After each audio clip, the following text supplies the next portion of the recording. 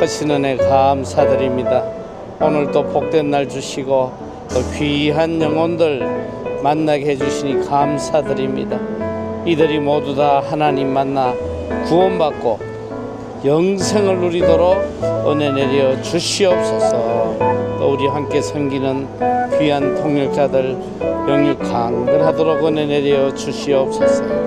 감사드리며 예수님 이름으로 기도드리옵나이다.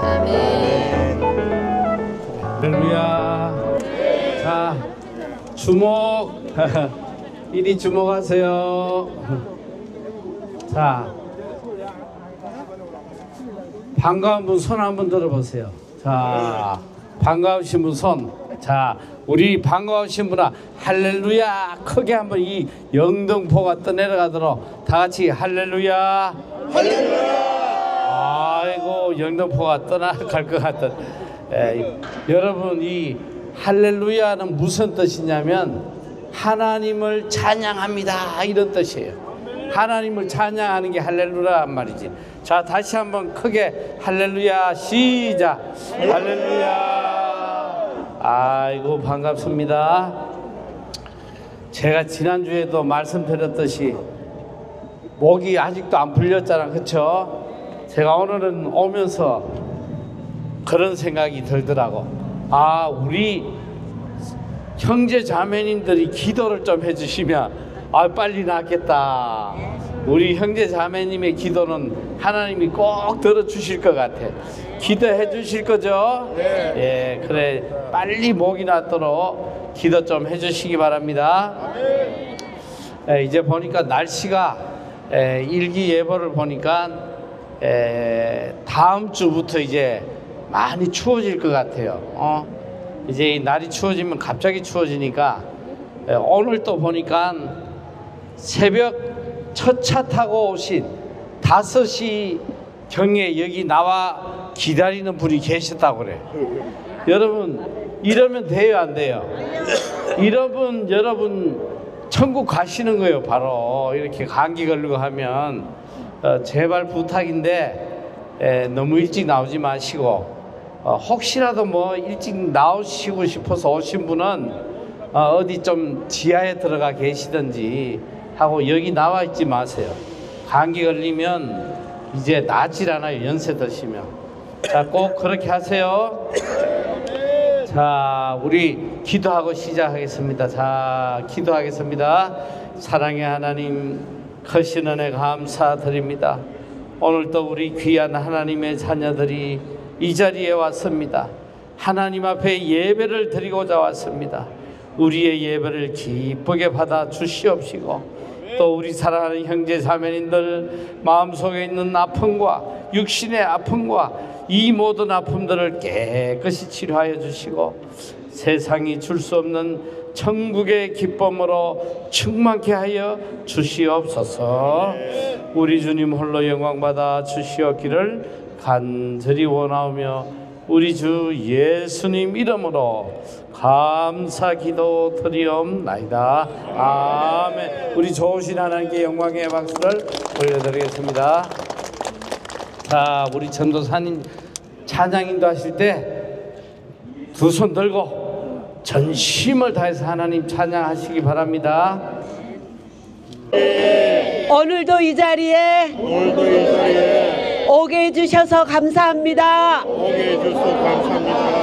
목요일마다 목요일마다 예배하게 하시니 예배하게 하시니 말씀 전해주시는 말씀 전해주시는 이은태 목사님을 이은태 목사님을 강한 손으로 강한 손으로 붙잡아 주시옵소서 잡아 주시옵소서 예수님께서 예수님께서 목사님 목을 목사님 목을 깨끗하게 깨끗하게 치료해 주시고 치료해 주시고 낫게 해 주셔서 낫게 해주셔서 오늘도 오늘도 힘찬 목소리로 힘찬 목소리로 말씀 전하실 때 말씀 전하실 때 우리 모두 우리 모두 아멘으로 아멘으로 하나님 말씀을 하나님 말씀을 마음으로 마음으로 받게 하여 주옵소서 하여 주옵소서 예수님 이름으로 기도합니다. 아멘. 좋으신 하나님. 우리 두 손 들고 좋으신 하나님께 찬양 드리시겠습니다.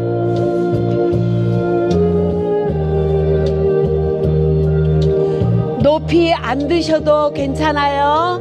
그러나 두 손 들고 찬양하겠습니다.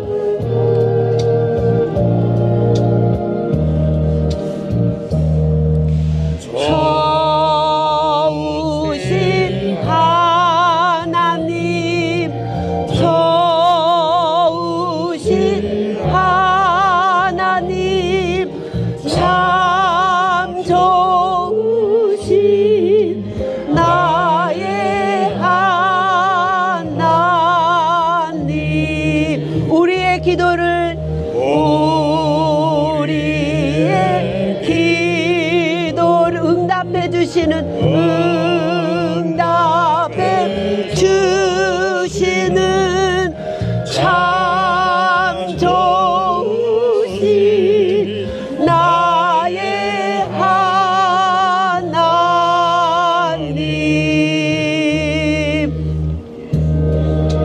우리 두 손 더 높이 들고 한없는 축복을 주여 오늘 이곳에 나에게 내려주옵소서 간절한 마음으로 한없는 축복을 우리에게 주시는 좋으신 하나님 찬양하겠습니다. 한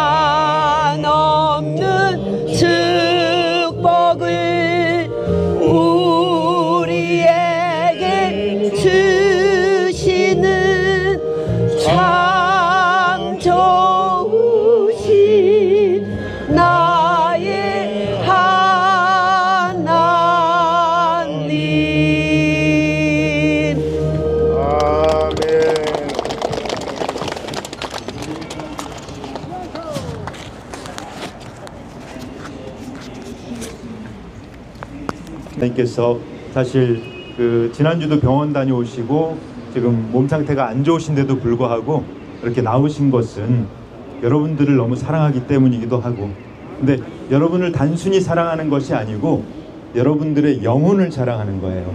그래서 여러분들의 영혼이 정말 구원받기를 원하는 그 마음 하나 때문에 이 먼 곳까지 정말 힘들고 지친 몸을 이끌고 오셨거든요.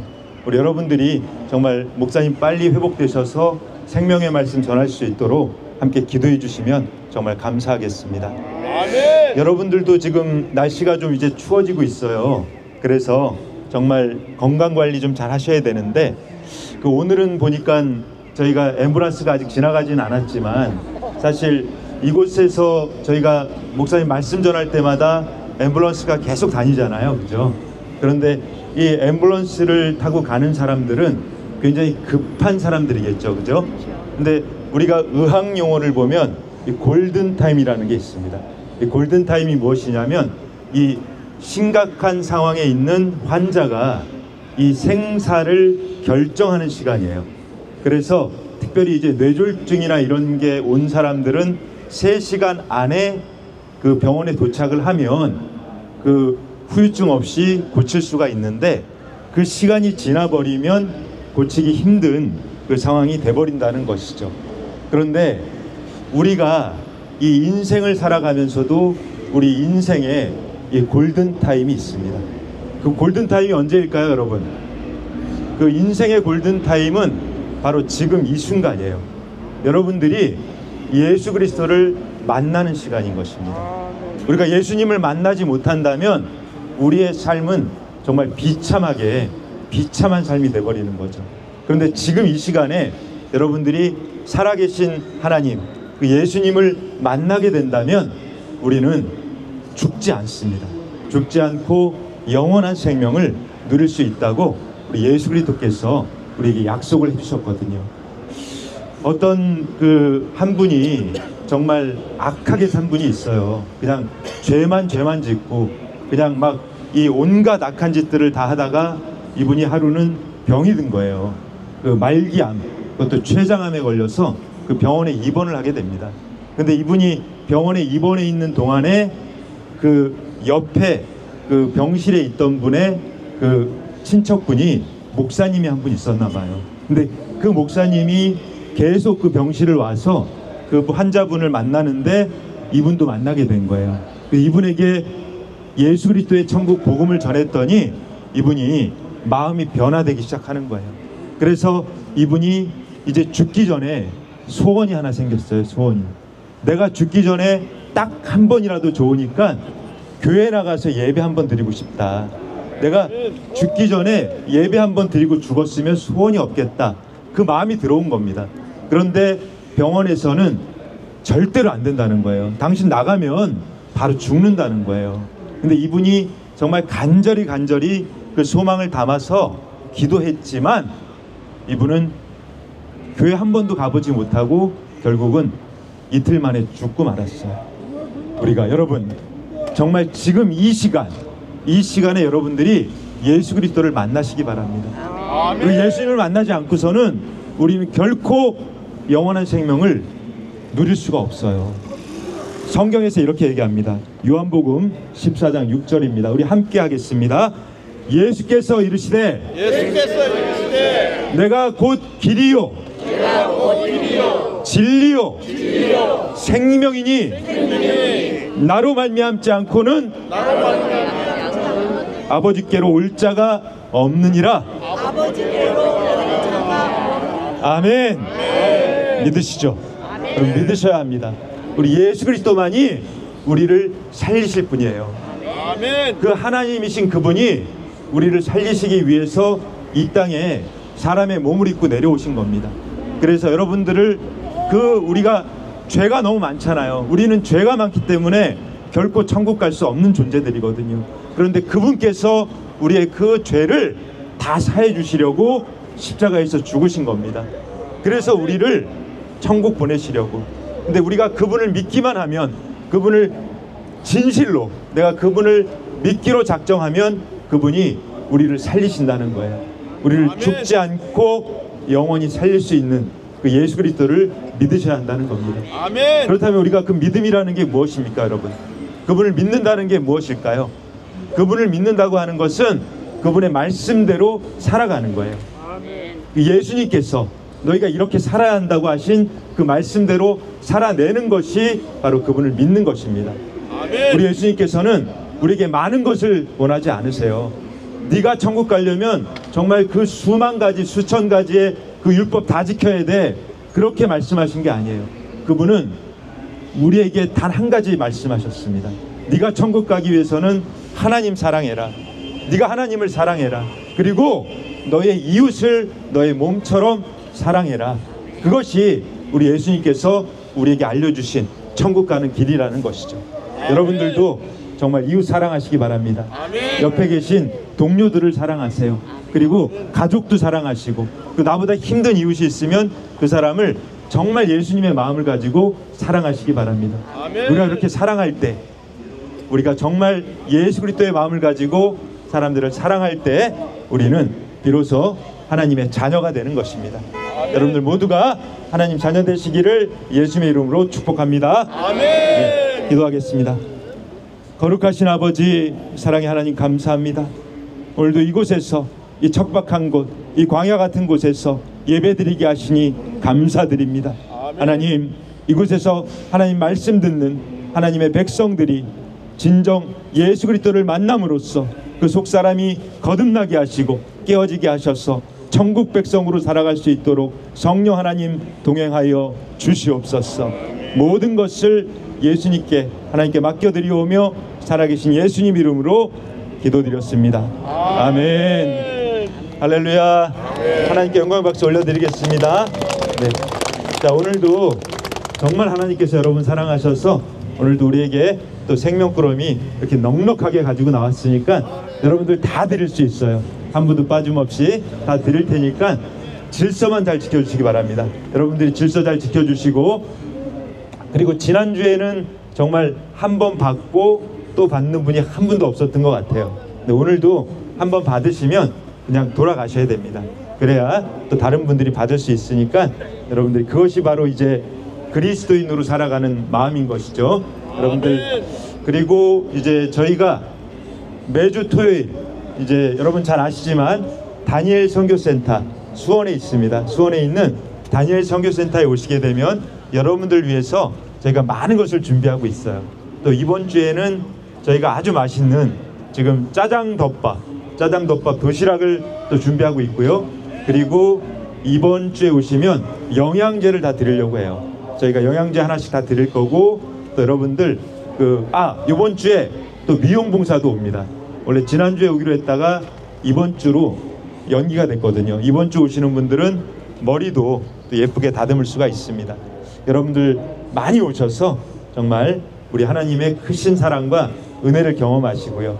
그리고 오실 때는 저희가 약도를 드릴 텐데 이미 지금 한 30명 이상이 오고 계세요. 그 길을 잘 아시는 분들은 화소역으로 해서 걸어오시면 되는데 그 길을 모르시는 분들은 오늘 약도를 드릴 테니까 받아서 많이 오시기 바랍니다. 많이 오셔서 정말 하나님 주시는 그 놀라운 은혜를 경험하시고 무엇보다 하나님의 생명의 말씀 통해서 예수님을 만나시기 바랍니다. 예수님 만나는 시간이 되시기를 축복하겠습니다. 네. 자, 우리 예수님께서 알려주신 주님의 기도하겠습니다. 하늘에 계신 우리 아버지여 이름이 거룩히 여김을 받으시오며 나라가 임하시오며 뜻이 하늘에서 이루어진 것 같이 땅에서도 이루어지이다 오늘 우리에게 일용할 양식을 주옵시고 우리가 우리에게 죄 지은 자를 사하여 준 것 같이 우리의 죄를 사하여 주옵시고 우리를 시험에 들게 하지 마옵시고 다만 악에서 구하시옵소서 나라와 권세와 영광이 아버지께 영원히 있사옵나이다. 아멘. 하나님께 영광 박수 올려드리겠습니다. 네. 자 그리고 이제 곧 나눔할 텐데 오늘도 그 진통제를 좀 가지고 왔는데 많이는 못 가져왔어요. 그래서 아프신 분들 있으면 좀 먼저 드리도록 하겠습니다.